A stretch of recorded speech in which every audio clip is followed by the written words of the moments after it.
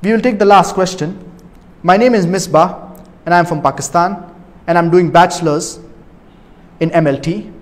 My question is that Allah is not the father of us. Then how come in the Bible Isa alayhi said that I will pray to my father and he will send you a comforter? This is confusing me.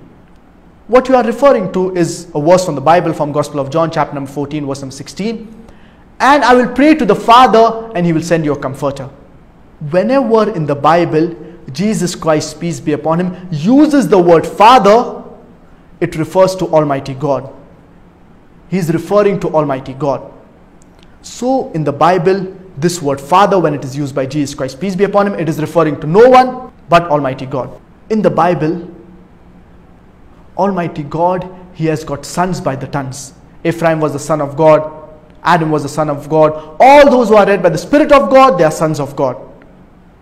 So, son of God, it refers to a righteous person. It refers to a person who follows the commandments of Almighty God. And many people, they say that Jesus Christ, peace be upon him, he is not a normal son, but he is a begotten son. And they quote the verse of the Bible in the Gospel of John, chapter number 3, verse number 16 For God so loved the world that he gave his only begotten Son, whosoever shall believe in him shall not die but have everlasting life.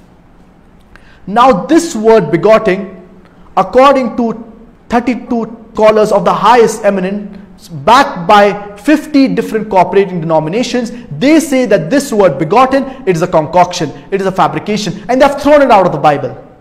That's the reason in the glorious Quran, there are no less than 99 names and attributes of Allah subhanahu wa ta'ala that are mentioned in the glorious Quran and in the authentic hadith. But Allah subhanahu wa ta'ala took utmost precaution not to use the word father, that is ab in Arabic because he knew that people they would misunderstand this word and they would misuse it but in the bible this word is used and whenever jesus christ peace be upon him he uses it is referring to no one but the father in heaven and it is referring to almighty god so this was the time that we had today.